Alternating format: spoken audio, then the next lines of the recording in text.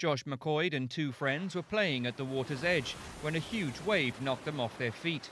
The friends managed to drag themselves out of the water. Seeing McQuoid struggling, they called for help. A German tourist tried unsuccessfully to rescue McQuoid before two policemen tried to pull him free from the relentless waves. A group of beachgoers then formed a human chain and pulled the lifeless boy from the surf onto the sand where he was resuscitated.